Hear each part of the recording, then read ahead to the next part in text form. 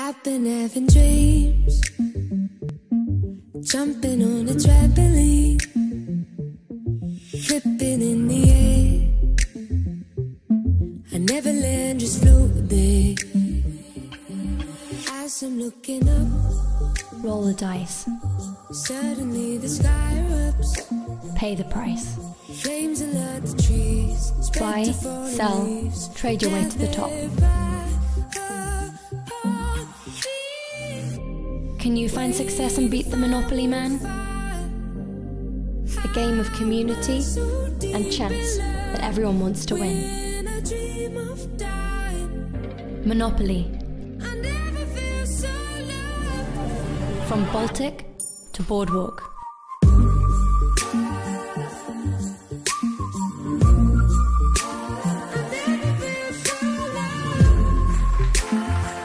All right. Good. Oh, should have pictures. Good evening. Good to see everybody. Glad you're here. How many of you uh, like the game Monopoly? Anybody? Some of you? Yeah, you know it's the world's most famous board game. Now, I like the wheelbarrow token, wheelbarrow, wheelbar, barrel token because uh, you can haul all your money around once you win.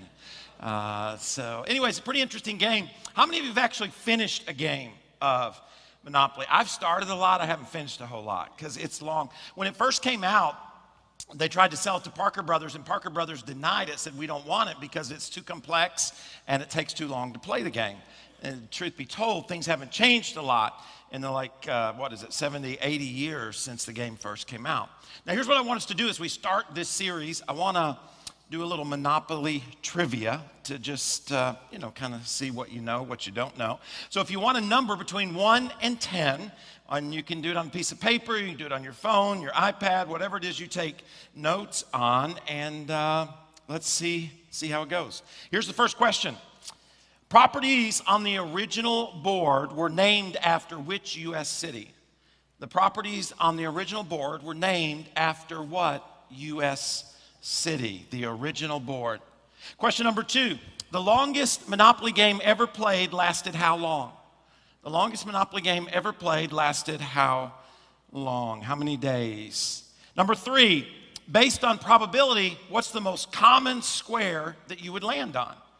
Right? The, the, if you were to go around the board, more than likely you would land on this one. What's the least likely square that you would land on? That's number four. What's the least likely square that you would land on? Question number five What role did Monopoly play in World War II? What role did Monopoly play in World War II? Well, you can just feel the anticipation in here, can't you? Attention. Number six. This is a good one because it's multiple choice. How many Monopoly games have been sold as of July of 2018? 2 million, 25 million, 250 million. How many Monopoly games have been sold as of July 2018? Another multiple choice question for you. A Monopoly player has, I'm going to give you three different percentages. Which percentage is the correct percentage that they would land on one of the railroads every time they go around the board, okay?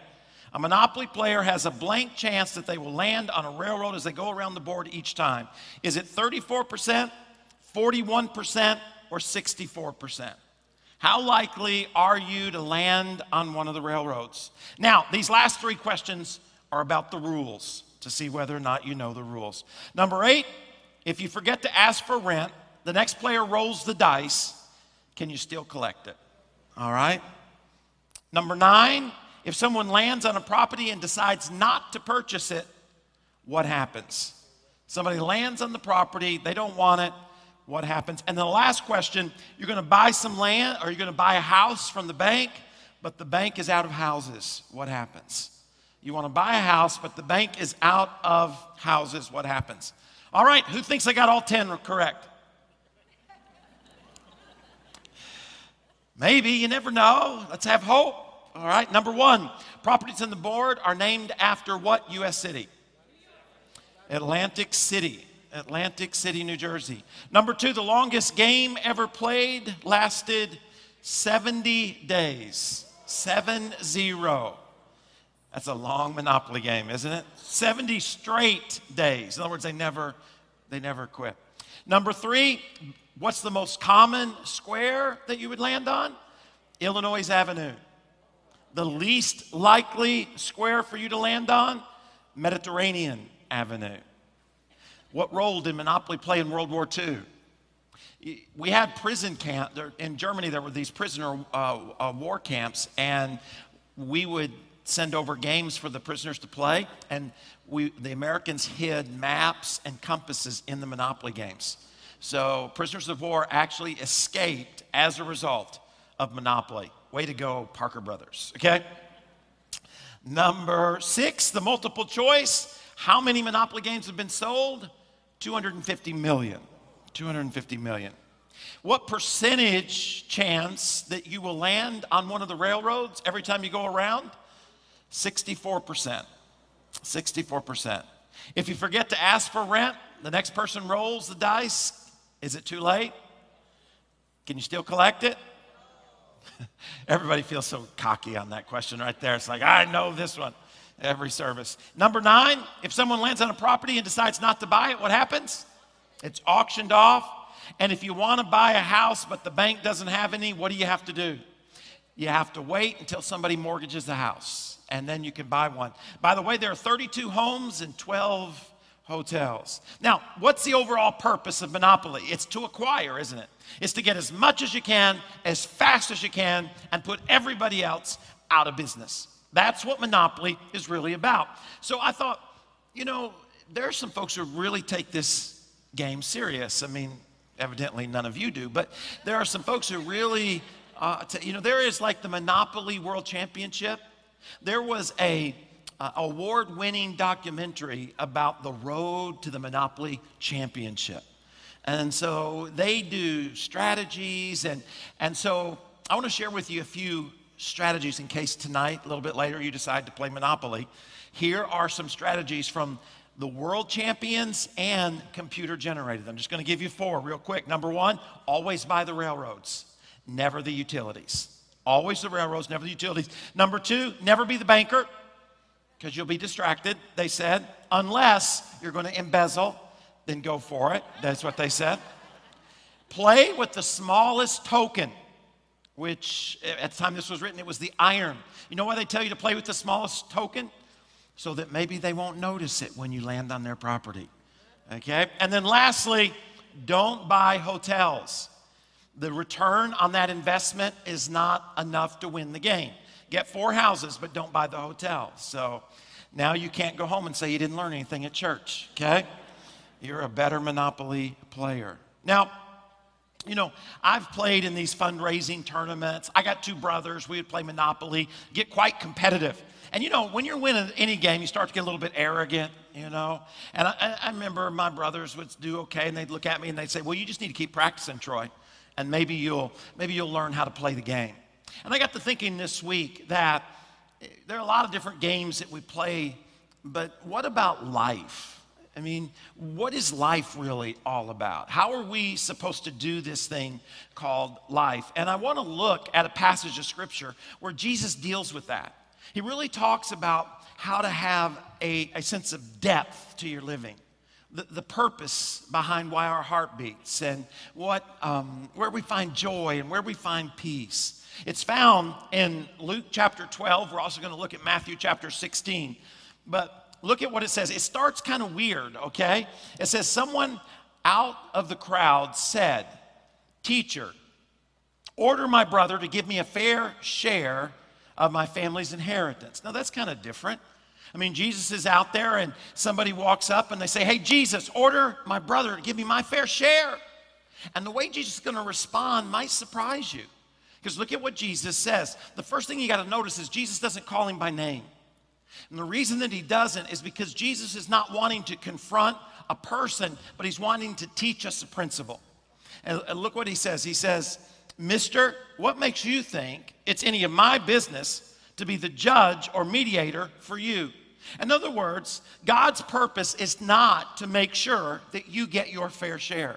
Sometimes I think we believe that. That what God really is supposed to do is to make sure we get our fair share. And sometimes we're kind of like this dude. Right? We're like, God, where's my fair share at work? Where's my fair share of finances? Where my fair share of talents and gifts? And God answers us the same way He does this young man. He says, That's not my job.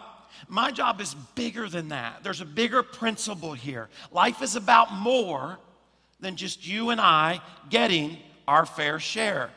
It says in verse 15, speaking to the people, he went on. He says, Take care to protect yourself against just the least bit of greed.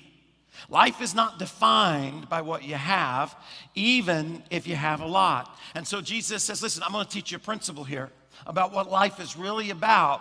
But in order for you to grab a hold of it, you got to realize uh, and watch out for greed and know that life is about more than acquiring, it's about more than stuff. And then he tells a story. He says, Then he told them this story. The farm of a certain rich man produced a terrific crop. He talked to, I always like it in the Bible when they talk to themselves. He talked to himself. What can I do? My barn isn't big enough for the harvest. And then he said, Here's what I'm going to do I'll tear down my barns and I'll build bigger ones. And then I'll gather in all my grain and my goods, and I'll say to myself, Self, you've done well. You've got it made, and you can now retire. Take it easy and have the time of your life. It's kind of like go, you know, pass go, collect $200. This is winning. Then in verse 20, just then God showed up and he said, Football, or football. He showed up and said, Fool. I don't know where I got football from. Ah. He said, fool. You know, every time I read that, I don't know if you're as old as me, but I always think of Mr. T. You know, he, he, God shows up and he says, You're a fool. Why? Why is he a fool? Because you're going to die tonight. And your barn full of goods, who's going to get it? That's what happens when you fill your barn with self and not with God. And again, Jesus is saying that there's got to be something more than just acquiring. There's got to be something more to life than just what we own or what we have. And he's going to talk in this whole chapter about greed. Now, that's interesting because we don't talk much about greed, do we? I mean, when's the last time you looked into the mirror and said, Ah, oh, man, I struggle with greed? Or when's the last time you and one of your friends sat down and talked about how to deal with greed? I don't think we talk about greed. I don't think we see greed in our own lives. And yet, Jesus is going to spend a whole chapter talking about it. And the reason is because greed has the capacity to distract us from what we really desire in our lives. What Jesus died to give us the joy, the, the hope, the, the depth of what life is all about is often distracted by our greed. So, what I want to do is, I want to take some time to look at this story. And I want to look at the ways in which greed tempts us and while maybe you've never thought of yourself as greedy, I think you'll see yourself in some of these um, temptations. I know I have this week, and I think it helps us to be aware. So here's the first one. If you want to download the uh, outline, it's on the app, or you can get a paper one out there in the lobby. But greed tempts us, first of all, with the fear of missing out. That fear that if, if, we, don't, if we don't get it now, it's not going to be around later. You, you, ever feel like that? You ever feel like, man, I, I, gotta, I gotta do it right now. I gotta take care of it right now because if I don't, then it's not gonna be there later. And if I don't get it, I'm not gonna be the cool kid. I'm, not, I'm gonna miss out. Well, Jesus deals with that in Luke 12. Now remember, this whole chapter is about greed. Look at what he says. He says, whole, here's the reason I told you this story, verse 29. What I'm trying to do here is to get you to relax, not to be preoccupied with getting so that you can actually respond to God's giving. And then he just addresses it straight out. Don't be afraid of missing out. You're my dearest friends. And the Father wants to give you the very kingdom itself. How many of us have something in the closet that we purchased because we are afraid we were going to miss out? You had to get it today because if you didn't, somebody else might come in tomorrow and they only had one. I have a timeshare for that reason. All right? I mean, they told us it's only good for today. And if I didn't get it on that day, then my kids and my we wouldn't have vacations to go on. They told me I could give it you know, pass it down as an inheritance to my children. They don't want it, but it seemed like a good idea at the time. I, I, mean, I have a timeshare that Steph and I never use that we have to pay those little fees on every single year for the last 30 years. Simply because I didn't want to miss out. The prices were going to go up. It was a one time deal. Right? That's the way they sell skin products. I mean, I mean, think about it. they tell you that they have found a plant in a country you've never heard of, a plant that you've never heard of, but it has amazing properties to keep you young.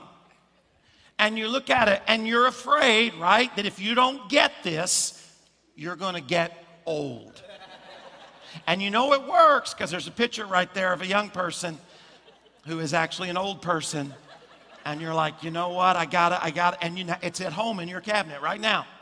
And the whole reason you got it is because you were afraid that if you didn't get it, you were going to be the one ugly old person in your neighborhood, right? And you purchase it. That's the way they sell supplements all the time. If you're in health and fitness, they'll say, you better buy this now because the government's going to outlaw it right? It's all about money. They don't want you healthy, all that kind of stuff. And so people go out and they purchase. See, we've never really thought about that as greed, have we?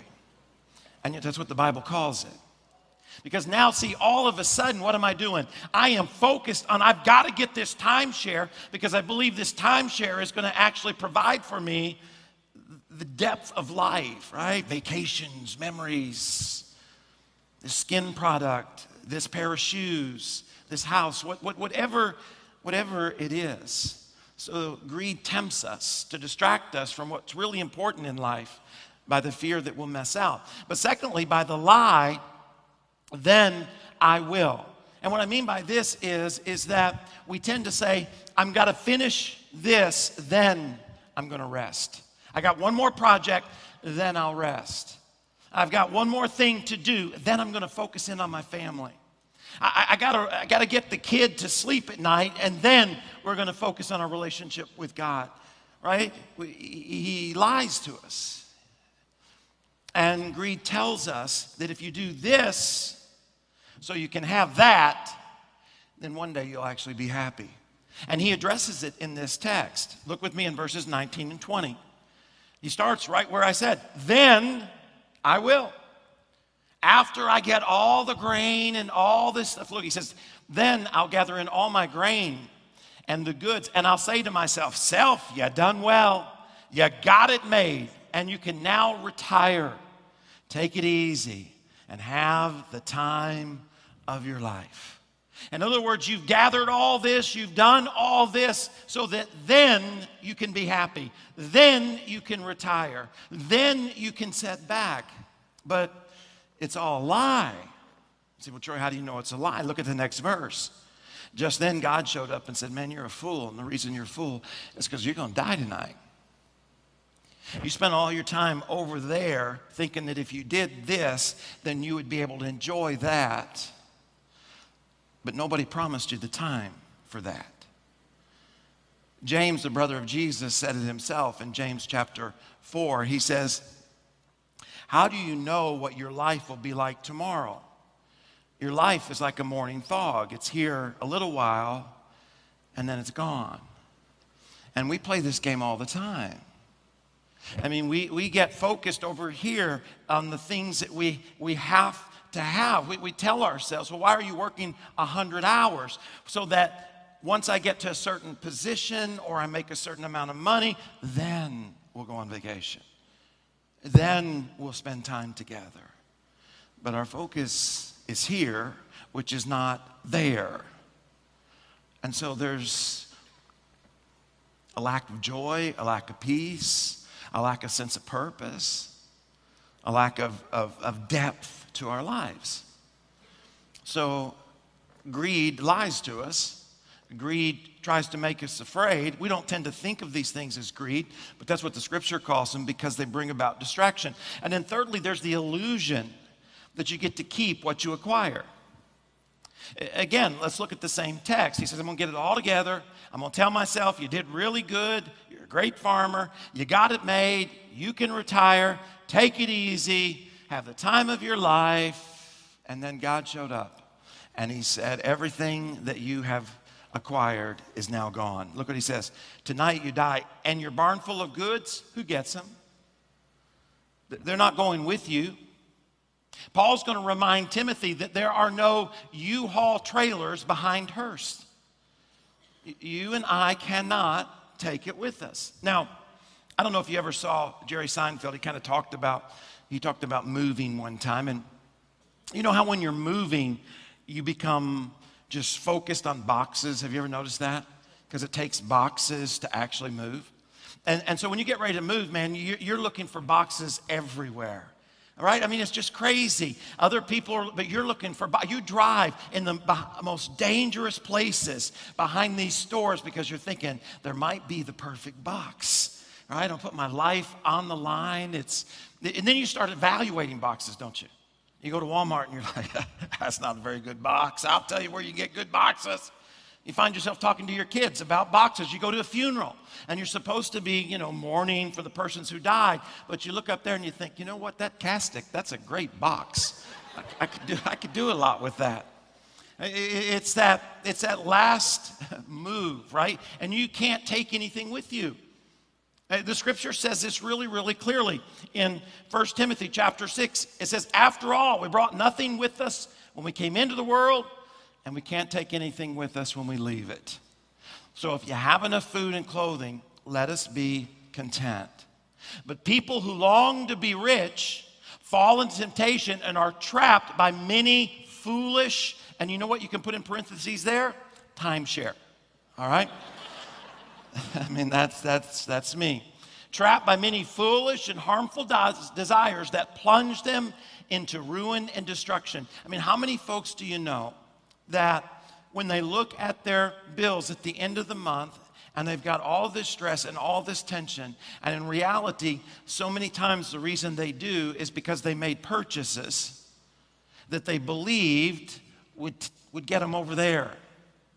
Right? If I just had this relationship, this house, this whatever it is, then I could move over here and really enjoy life. But instead of doing life here, they're still over here.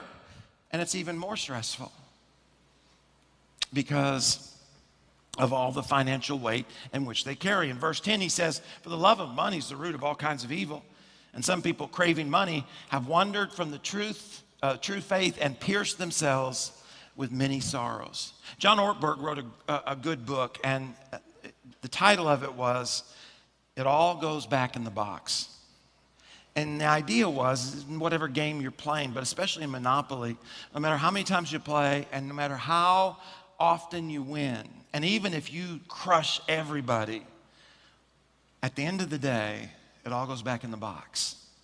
All the land deeds, all the cash, all the tokens, even the game board itself, it all goes back in the box. And that's true of life, isn't it? I mean, we don't get to take it with us. I mean, wherever it is you live, somebody lived there before you did. Somebody owned that land before you did. And somebody's going to own it after you. We, we really don't. It's just an illusion that somehow we need to spend all of our time getting all of this stuff as if it matters in the future, when in reality, the scripture tells us just the opposite. So greed tempts us. Like I said, it's sneaky. And it tries to make us afraid that we're going to miss out. Or it tries to convince us that when, then we'll be happy. Or it tries to get us to believe we can keep it. Or we make the false assumption I did it, therefore I own it. It's mine. Right? I'm a self made man or a self made woman. In verse 16, let me read this. I missed it the first time. Let's see if you catch it. We read it a moment ago, but let's read it again. It says, Then he told Jesus, he told them this story. The farm of a certain rich man produced a terrific crop. Did you see it? Did you see it? Let me, let me read it again. He told them this story. The farm of a certain rich man produced a terrific crop. Who does Jesus give credit to for the success? Did you notice? He doesn't say I'll tell you what, there was one heck of a farmer. That's not what it says. It says the farm of a certain rich man produced a terrific crop. In other words, Jesus intentionally points out that it is not it is not the ability of the man, but the provision of our God that leads to success. So he, he wants to show us right at the beginning of the story that's a false assumption to believe that you or I are actually the ones who produce success or wealth. He says it's the land that did it, it's the farm that produced. It was basically God's provision, not the man's giftedness. Now, in Deuteronomy chapter 8 and verse 17, it says, Now, if you start thinking to yourself, I did all this and all by myself, I'm rich, it's all mine. It says, Well, think again. Remember that God, your God, gave you the strength to produce all this wealth. It's, it's, I remember when our kids were little. And I'd take one of the boys or Bailey and go somewhere, and we'd stop at a little gas station and get some Lay's potato chips. I, I like Lay's. I like the ones without the ridges. You know, you can't can't have just one, and and so you know they'd have their Lay's, I'd have my Lay's potato chips, and I would ever you know always get mine eaten before they did, and I'd say, hey, can I have a chip? You know, and and they would always look at me kind of weird, like, no. You know, Daddy, I've only got a few left. I'd be like, Yeah, uh, can I have a chip? No, no, no, Daddy. And I'd be like, Well, you see, you don't understand something. What, what you don't understand is they're really not your chips. I, I bought them. I mean, you don't even know how to drive. I mean, you can't even spell Lay's potato chips. So they're not really yours, they're, they're mine. So give me one. Yeah. And they, again, they would almost pull the bag away from me. Said, no, no, we're not, we're not doing that. And, well, you know what I do? I just take it. I mean, what are they going to do about it, right? Uh, don't, don't you think that sometimes, aren't we kind of like that with God? is, is God looks at it and says, Hey, I need, to, I need you to do this with your time. Hey, I want you to, to give in this area. And what are you and I like? What? What? God, you, you, you, I've only got a few chips, God. Go ask, somebody over there's got the big boy chips. I mean, this is just a little, it's not fair. I, I, I can tell you what never happened with my kids. My kids, never did I say, Can I have a chip? And for them to open it up and say, Daddy, I've only got three. Can you see? I've only got three. And for me to look at them and say, Oh my gosh, I'm so sorry I asked.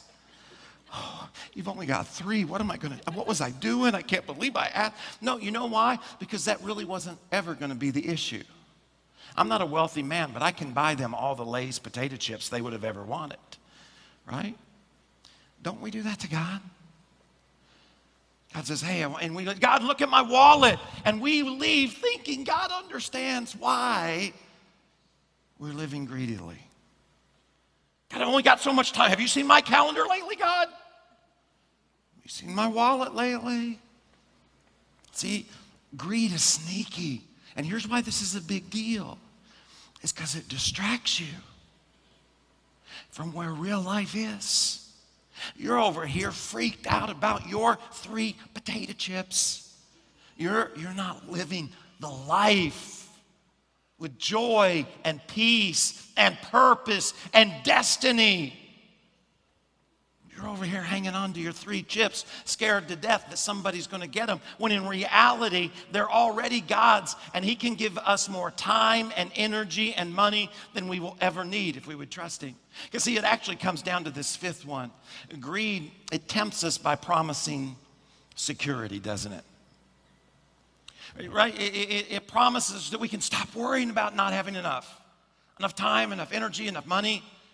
We see it in verse 19, once again, he says, Then I'll gather all my grain and my goods, and I'll say to myself, Self, you done well. You got it made. You can now retire. Now, why can he say that here, not a verse before it? Why, why does he look around and say, I can now retire? Because in his mind, at this moment, he believes that he's got enough. I think I've got enough. I think I've got enough if everything goes right and nothing happens to the economy that I can actually sit back and I can enjoy life. I can retire. But the problem is, is that we never have enough to not be stressed out. That's what chapter 12 is all about. The whole chapter is about how you and I spend our whole life scared to death that we don't have enough so that we can get over here and do what we really want to do and be happy. Look what he says in uh, verse 25. He says, Has anyone, by fussing before the mirror, ever gotten taller by so much as an inch? I mean, have you ever looked into the mirror and thought, oh my gosh, I'm short, and made yourself taller? Or you thought, I'm fat, and made yourself skinny? Right? You, you can't do that. Why can't you do that? Because you're not in control. And that's all Jesus is saying. You can look in the mirror all you want to, but you can't change what's going on because you and I are not in control. He says, if fussing can't even do that, why fuss at all? Walk into the fields and look at the wildflowers. They don't fuss about their appearance. But have you ever seen color and design quite like that? The 10 best dressed men and women in the country look shabby alongside them. And if God gives such attention to the wildflowers, most of them never ever will be seen. Don't you think He'll attend to you? Take pride in you? Do His best for you? What I'm trying to do here is to get you to relax, not to be so preoccupied with getting so that you can respond to what God is actually giving. Scared to death that what we don't have won't be enough. And so we're focused where? We're not focused over here where we say joy is. We say joy is with my family. But I'm focused over here working 100 hours because I have convinced myself that I must work 100 hours in order to be able to enjoy time with my family. Because 100 hours will give me the money that'll make me secure to take care of my family. And Jesus writes over and over, but especially in this chapter, you can work and, work and work and work, but you'll never have enough money that you no longer worry about money because it's here today and it's actually gone tomorrow. 1 Timothy 6 says, Teach those who are rich in this world to not be proud. And then what does it say? And to not trust in their money. Why? Why wouldn't we trust in our money? because it says it's unreliable. You know that. I mean, think, think about it. You're in the top 5% in the world as far as wealth is concerned. All of you are. You compare yourself to other people in the world, you're in the top 5%. Now, what does that mean? You are quite wealthy. Do you feel wealthy? You walk around thinking, I'm quite wealthy. I don't have to worry because I've got more than enough. No, no. Why? Because there's never enough to not worry. You're in the top 5%. Some of it, some of uh, us might even be in the top 1%, top 0.5%. And yet there's still this concern. Why? Because there's never enough to not worry. Because we all know that it's unreliable. It can be gone in just a moment. So the question then is, is I was thinking this week is, well, what's the real park place and boardwalk like? I mean, what about the folks who really live on Boardwalk? What's, what's it like? I mean, what's their life like, right? Because we, names come to our mind where we look at them and we think, man, they, they've got the power, they've got the influence, they've got the great job, they, they, they, they've got the money, they live in a great place. I mean, they, they, they got Boardwalk and Park Place. I'm stuck in Baltic Avenue, but they got, they got it maybe it's not all it's cracked up to be. Maybe you have to sell your soul to live on boardwalk. That's the question Jesus asked in Matthew 16. He says, And what do you benefit if you gain the whole world but lose your soul?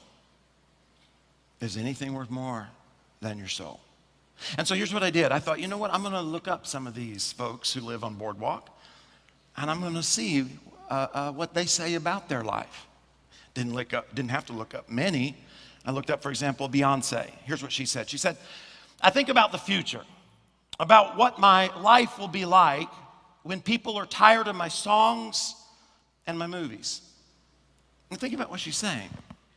She's saying, I'm over here and I am focused on my movies and I am focused on my songs because I know that it are those things that allow me to be happy over here. The only problem is I'm not over here because I'm scared to death that people aren't going to buy my songs and go to my movies. So I can't be happy. Why? Because there's never enough songs, there's never enough people to buy enough songs that I can walk over here and not worry about them buying my songs. And so I have to hang on to it. Taylor Swift said the same thing. She said, I'm always terrified that something's going to happen and that I'm not going to be able to do this anymore and it's all going to end in one day. Part of the fear comes from loving this so much and not wanting to lose it. I mean, she lives on, she lives on Boardwalk, Park Place. Got influence, she's got power, she's got all the things that I look at and say, if I had that, man, I, I would have peace joy, sense of purpose. I feel like my life mattered, like I was making a difference. And yet, what does she say? She says, I can't, I can't go over there where happiness is. Why? Because, well, I got to hang on to this. And I, I still believe that one day this is going to give me that. And so I'm over here, scared to death that at any day this could be gone. And so I'm not even able to enjoy what I say would make me happy because I'm afraid I'll lose it. Miley Cyrus said, So many people look at my depression as me being ungrateful, but that's not it. I can't help it. There's nothing worse than being fake, uh, fake happy. I mean, again, you got somebody that has a boardwalk, and yet she just says, I'm not happy. I was reading an article in Market Watch. Here's what it says It says, New research shows the richer we get, the less happy we become. A study published this month in the Journal of Nature of Human Behavior found that once we reach a certain household income, 105,000 in the United States, 95,000 globally, the more income we have tended to be associated with reduced life satisfaction and lower levels of well-being. So the more money we make, the more unhappy we become. And then the Harvard uh, Business Review said wealth appears to make people less generous, which is just the opposite of what we think, right? Right? You, We, we all, man, I'll tell you what, if I had more, I'd do more. It happens in the lobby all the time. People come up to me and they'll say, Pray for me that I'll win the lottery. Because if I do, we're going to build some campuses. We're going to feed the hungry. And you, you look at me and say, Well, you know, are, are you helping to feed the hungry right now? Well, no. I haven't won the lottery. But when I win it, now, let me tell you something from somebody who's been in ministry for like 25 years. Generosity is not the result of the pocketbook, it's the result of the heart. And people who are not generous with little, statistically, Harvard Business Review is just, is just reminding us of what the scripture teaches us is that when you get a whole lot, you're not going to be generous either. And the folks who are generous when they win the lottery were generous before they won it. They were given $5, now they're given $50,000, but they were generous it, because it's about, it's about the heart. So, what is the get out of jail free card? What is life really all about? I mean, if Jesus spends this whole chapter saying, be careful because greed will keep you distracted from the depth of life, the love of life the joy of life. Well, what is it? Well, let me give it to you in a word, and then we'll just read what Jesus said. It's servanthood, it's self sacrifice. It's getting to a point where you and I are not focused on ourselves. We're not focused on our income or our album sales. We're, we're, we're focused on others. And Jesus said that that's where joy is found. Look what he says Matthew chapter 12. Be generous, give to the poor, get yourselves a bank that can't go bankrupt. Now remember, why does he say this? Because he knows that as long as you and I are trying to take care of ourselves in this physical world, that we'll always be anxious, always be nervous. You'll turn on the news, and if the war is in the wrong place at the wrong time, it could all go away. He says, A bank in heaven, far from bank robbers, safe from embezzlers, a bank that you can bank on. It's obvious, isn't it? The place where your treasure is, is the place you will most want to be and end up being. Man, don't miss that. you and I are over here saying, I'm doing this so I can get over there. I'm telling you, I got two jobs so that I can one day spend time with my family. And what's he saying? No, no, I'm lying to myself. I'm over here because it's where my heart is.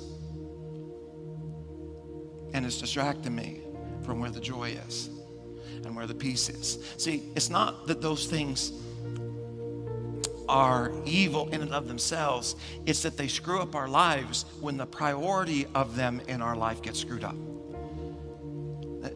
Because, well, let's just read. He says, he's gonna, he says, then Jesus went to work on the disciples. So now he's going to talk to us. Anyone who intends to come with me has to let me lead. You're not in the driver's seat, I am. Don't run from suffering, embrace it. Follow me, and I'll show you how. She says, I'll, sh- I'll show you how to deal with hurt and pain. Self help is no help at all. Self sacrifice is the way. It's my way of what? Finding yourself, of the very thing that we all really desire. We want that joy, we want that peace. And Jesus says, Look, I know the way. I know the way to find yourself, your true self. What kind of deal is it? If you get everything you want, but you still lose, you lose your heart, you lose your soul, you lose who you are. What could you ever trade for your soul? You know, I, I was thinking about that this week. Those things that have depth to them, those self sacrificing type of things. And I was thinking about potential, the kind of things that, that God allows us to choose, if we desire, to be a part of.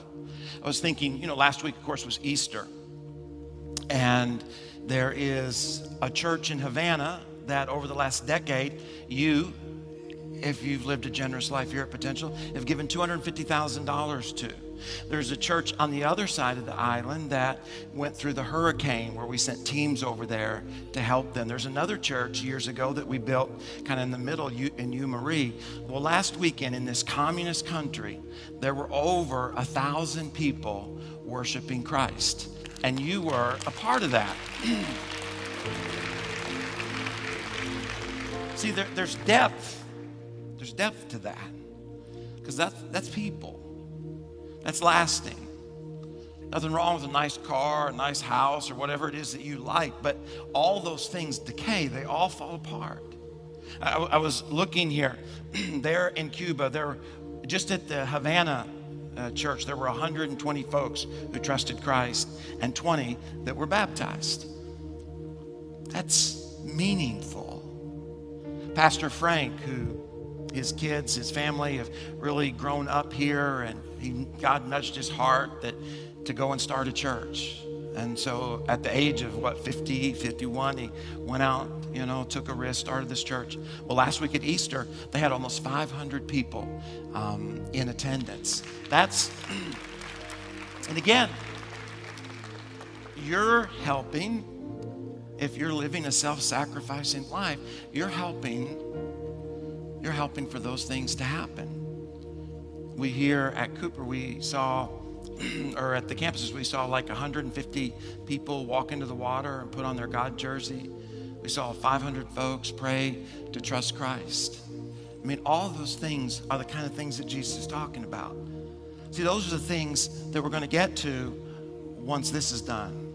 It's so easy to put those things off right? I'll, I'll, give to that later. I'll go on that mission trip later. I'll pray for them later. But right now, I got to do this so I can do that.